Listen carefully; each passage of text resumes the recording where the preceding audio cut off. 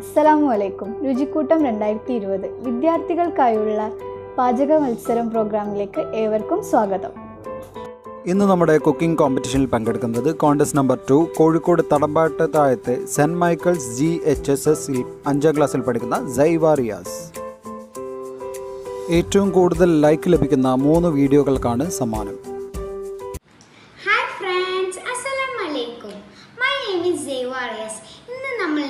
പോകുന്ന ഗുലാബ് ജാമുൻ. ഇനി നമുക്ക് ഇതിന്റെ ഇൻഗ്രീഡിയൻസ് നോക്കാം. എയ്റ്റ് സ്ലൈസ് ഓഫ് ബ്രെഡ് ഒരു കപ്പ് വെള്ളം അര കപ്പ് പഞ്ചസാര അര ടീസ്പൂൺ ഏലക്കായ പൊടിച്ചത് കാൽ കപ്പ് പാൽ. ഇതെങ്ങനെയാണ് ഉണ്ടാക്കുന്നത് നോക്കാം. ആദ്യം നമ്മൾ നേരത്തെ എടുത്തു വെച്ച എട്ട് ബ്രെഡ് നമ്മൾ മിക്സി ജാറിലെടുത്ത് ഇങ്ങനെ ചെറുതായി മുറിച്ചിട്ട് കൊടുക്കണം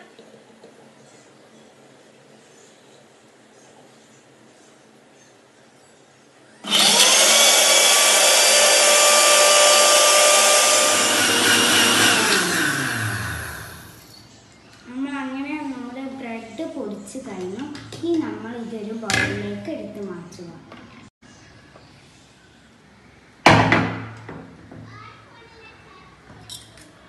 ഉം, ബൗളിലേക്ക് നമുക്കൊന്ന് മാറ്റിട്ട്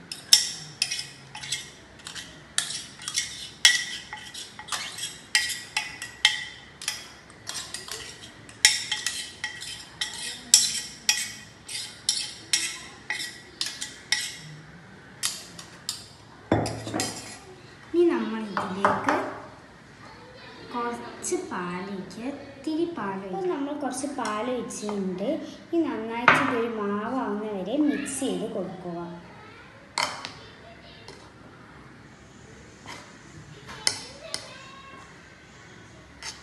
കുറച്ചും കൂടി പാൽ ഒഴിക്കാം നമുക്ക് നന്നായിട്ട് മിക്സ് ചെയ്യാം.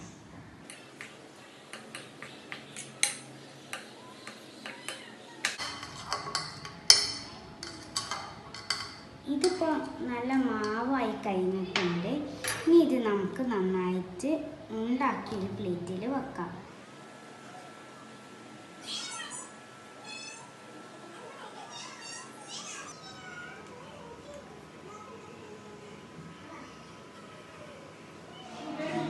ഇതെല്ലാം നന്നായിട്ട് ബോൾസ് ആയി വന്നത് ഇതൊന്നും നമുക്ക് പാനിലിട്ട് നന്നായിട്ട് ചൂടായി എടുക്കുക. നമ്മൾ ഇനിയിപ്പോൾ ഇവിടെ ചൂടാക്കാൻ ഒരു ചീൻചട്ടി എടുത്തിട്ടുണ്ട്. ചീൻചട്ടിയിലേക്ക് നമുക്ക് ഇത്തിരി എണ്ണ ഒഴിച്ച് കൊടുക്കാം.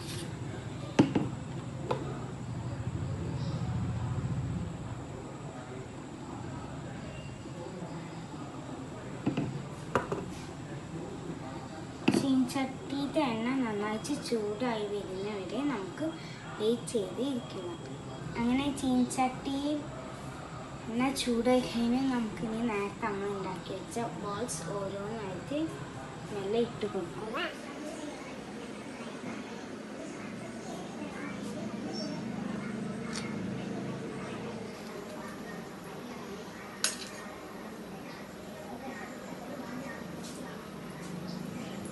കുറച്ച് ബ്രൗൺ കളറായി വന്നിട്ട് ഇനി നമുക്കിത് മറിച്ചിടാം.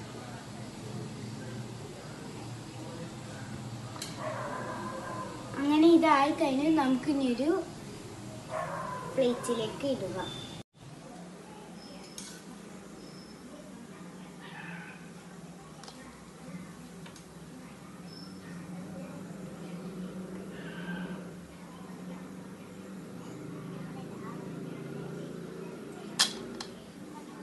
നമ്മൾ ഷുഗർ സിറപ്പ് തയ്യാറാക്കാൻ ഗ്യാസിൽ ഒരു പാത്രം എടുത്തിട്ടുണ്ട്.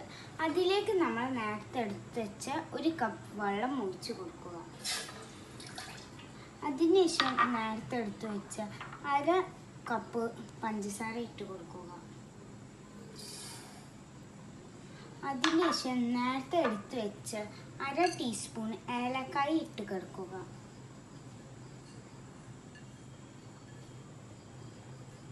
നന്നായിട്ട് നന്നായിട്ട് ചൂടാവട്ടെ നന്നായിട്ട് തിളയ്ക്കുന്ന വരെ നമുക്കൊന്ന് വെയിറ്റ് ചെയ്യാം.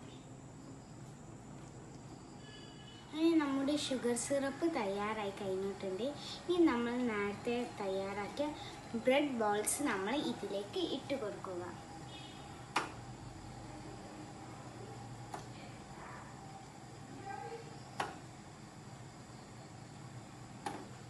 നേരത്തെ നമ്മൾ ഷുഗർ സിറപ്പ് അതിലേക്ക് നമ്മൾ നമ്മുടെ ബ്രെഡ് ബോൾസ് ഇട്ടിട്ടുണ്ട്. ഇത് നന്നായി ചിനി തിളയ്ക്കുന്നവരെ നമുക്ക് വെയിറ്റ് ചെയ്യാം.